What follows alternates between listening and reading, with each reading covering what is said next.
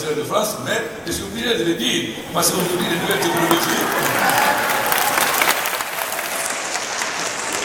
J'ai les nouvelles technologies aujourd'hui. Tout le monde parle anglais. Vous savez, j'ai fait des remarques à mes amis à Davos.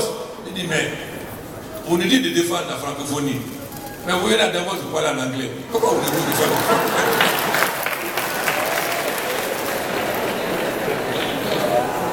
Alors, si les autorités françaises viennent Davos parler anglais, alors que eux, ils sont les champions de défendre la francophonie, et nous, alors il faut que dès l'école primaire, peut-être pas l'école primaire, mais peut-être dès l'école le secondaire, la première année secondaire, sinon l'école primaire, on commence à enseigner l'anglais. Sinon, on sera défavorisé. Nous avons beaucoup de bourses qu'on nous donne, de l'Inde, du Japon, etc. pour parler anglais. Lors de mon séjour au Japon, j'ai quand même dit au gouvernement japonais, n'est-ce pas, excellence, mais il me semble que la langue au Japon, ce n'est pas l'anglais, c'est le japonais.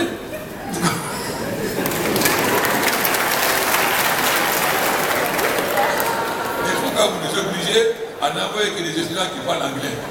Bon, voilà notre handicap. On a beaucoup de bourses, mais voilà l'handicap. On a beaucoup de Corée du Sud, de Thaïlande, etc. Mais ils demandent tous d'envoyer des gens qui parlent anglais. Donc, il faut qu'on ait le courage de reformer notre système d'enseignement. L'enseignement doit être lié à l'économie. À ce moment, les gens qui sortent ne sont pas chômeurs et notre économie a des cadres dont elle a besoin s'ils sont formés. Et deuxièmement, aujourd'hui, évidemment, nous sommes en train de construire des universités. C'est bien, mais ça ne suffit pas. Parce qu'il faut doter ces universités de moyens qui permettent aux étudiants d'avoir accès réellement à la quatrième révolution industrielle.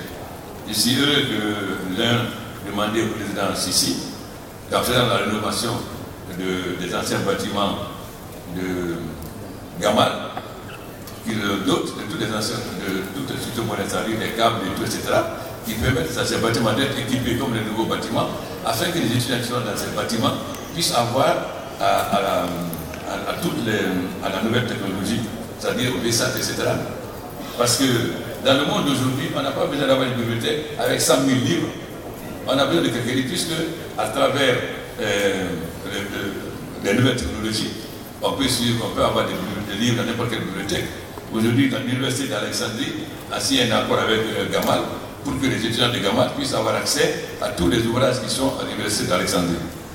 Et si vous voyez par exemple euh, l'hôpital Donka, les, étudiants en médecine n'ont plus besoin d'aller s'arrêter derrière le chirurgien pour suivre, ils seront en chirurgien, ils suivront sur l'écran comment le chirurgien opère. Donc ils n'ont plus besoin. Et il y a beaucoup plus d'étudiants qui pourront suivre.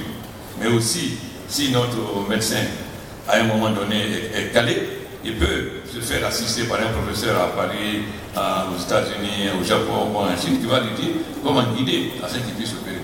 Voilà donc ce qui fait que notre retard peut être aujourd'hui notre chance parce que si notre retard, nous sommes en retard par rapport au Sénégal, la Côte d'Ivoire, etc., mais ce retard être notre chance pour les dépasser, c'est-à-dire aller vers les, technologies les plus modernes, faire en sorte qu'aujourd'hui, celui qui a envoyé des malades au Sénégal, à la Côte d'Ivoire, je leur, dis qu'à partir de 2019, c'est qui envoyé des malades en Guinée, parce que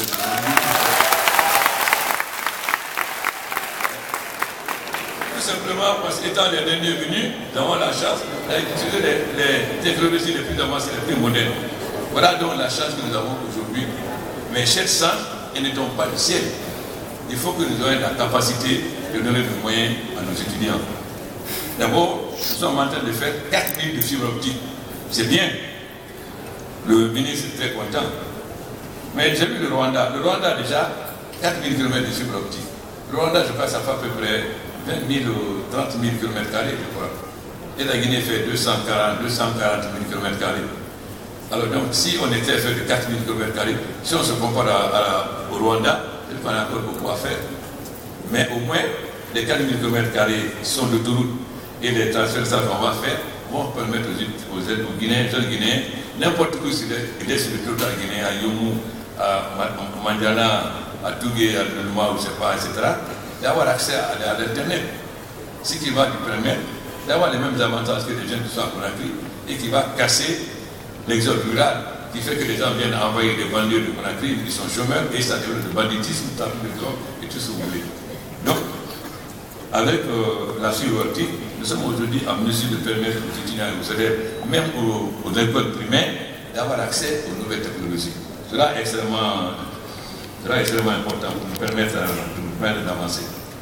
Ensuite, évidemment, dans les domaines où notre économie est la plus forte, comme les mines, il est extrêmement important que nous ayons non seulement des écoles d'excellence, mais des écoles euh, sous-régionales, c'est-à-dire que l'université de Bouquet soit transformée en université sous-régionale qui permette aux, autres pays d'avoir des étudiants ici.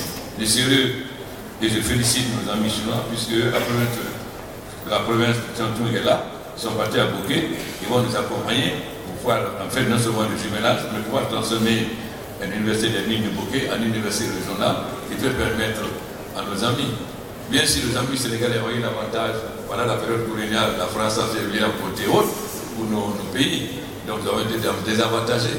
Mais il faut qu'aujourd'hui, maintenant, nous profitons aussi de nos avantages pour avoir des écoles régionales qui permettent aux étudiants ivoiriens, sénégalais, burkinabés de venir étudier des mines en Guinée. Voilà ce qui est important dans, ce secteur. Mais il est important aussi ce forum, pourquoi?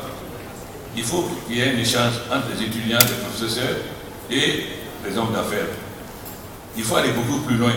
Je sais que les universités n'aiment pas cela, mais il faut que dans les écoles professionnelles, comme dans les universités, que dans le conseil d'administration, il y ait des gens des métiers, des professionnels, qu'on accepte que l'école des mines, y ait des miniers dans le conseil d'administration.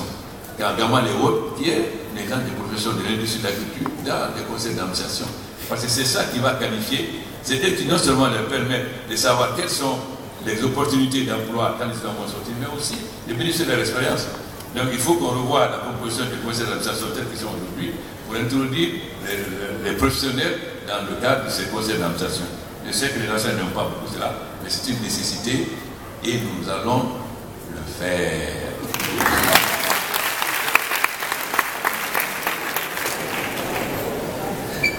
Voilà donc ce que je voulais vous dire et encourager ces forums d'échange.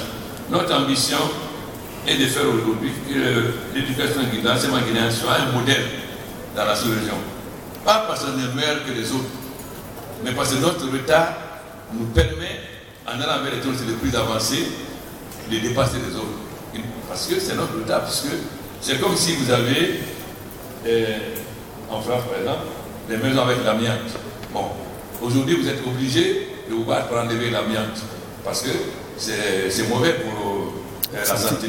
Nous qui venons, nous savons cela. Donc, nous faisons des maisons où il n'y a pas d'amiante, ou bien le Japon, où, vous avez, où il y a des tremblements de terre, donc vous faites des maisons qui tombent. Aujourd'hui, avec les nouvelles technologies, nous pouvons faire des maisons qui résistent aux tremblements de terre. Donc ce n'est pas parce que nous avons plus de mérite que les autres, mais c'est parce que notre retard, qui était un handicap, peut nous permettre aujourd'hui d'être les plus avancés à cause des nouvelles technologies et de l'avancée de la science. Voilà ce qui est important. J'explique bien, parce que les Guinéens ont le nationalisme étroit. Ils vont dire maintenant, le président dit qu'on est meilleur que les autres. Vous voyez, par exemple, nous avons la journée des paysans à 0,12 et 13.